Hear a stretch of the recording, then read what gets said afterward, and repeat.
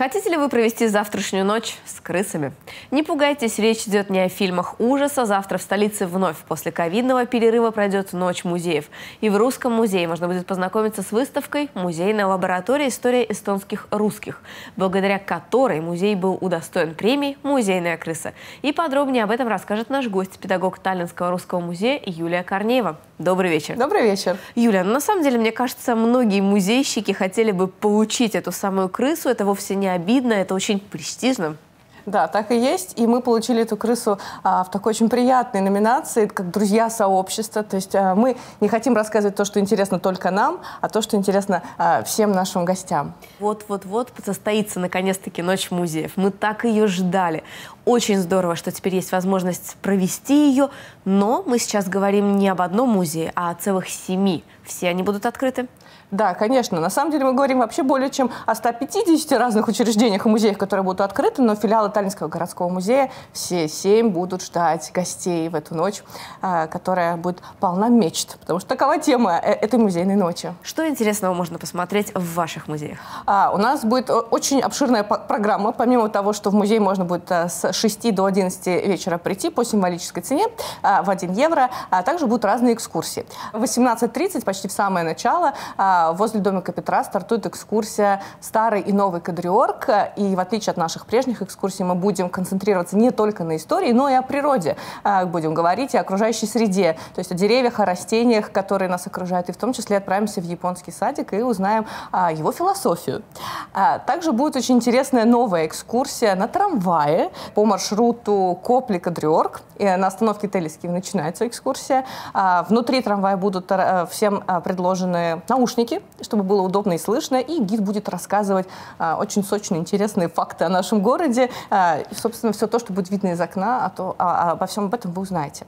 Но это еще не все. А, Еще в 8 часов от музея Калама стартует экскурсия про канализационные люки Калама. Наш любимый житель Калама Андрес Сиплане занимается изучением этих люков, даже издал специальную книгу, вот проводит а, такие тематические экскурсии. Он хочет обратить внимание на те детали, на те предметы, на которые мы никогда не обращаем внимания. Ну, мы даже по сторонам-то редко смотрим, а под ноги уж тем более. А на самом деле эти люки, разные электрические столбы могут рассказать очень много интересного, не только наши средневековые дома.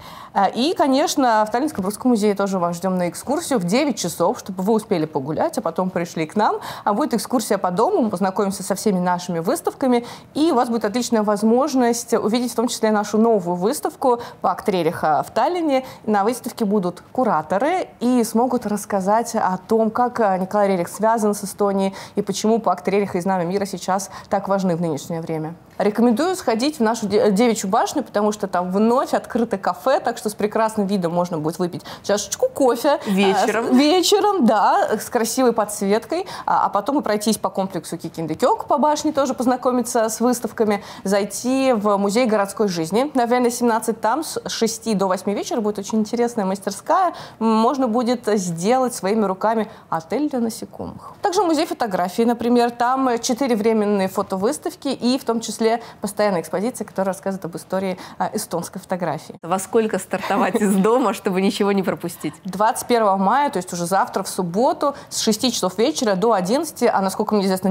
некоторые музеи даже дольше а, будут открыты для вас. На а, сайте Музейной ночи можно с полной программой мероприятий познакомиться.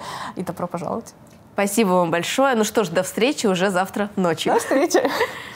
Идея возникла в 1970 году в Берлине с целью привлечения посетителя, который непременно вернется в понравившийся ему музей, уже купив билет. Тогда эта акция называлась «Весной музеев», и в ней приняли участие 20 немецких музеев. Для сравнения, сейчас ориентировочно в ней примут участие почти 2500 музеев более чем в 45 странах. Так что и у вас есть прекрасная возможность прислушаться к советам, которые дала педагог Таллинского русского музея Юлия Корнеева, и примкнуть к миллионам людей во всем мире в эту ночь.